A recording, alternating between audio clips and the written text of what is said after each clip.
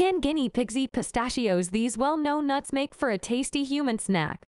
But before giving your pet any human food, it's crucial to take into account their dietary requirements. Pistachios are not ideal for guinea pigs. While they are a tasty snack for humans, pistachios contain high amounts of fat that can be harmful to the health of a guinea pig. Read more information by going to the link in the description.